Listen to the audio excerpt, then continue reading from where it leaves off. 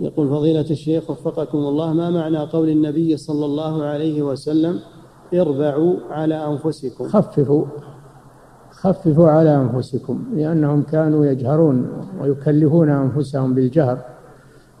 نعم.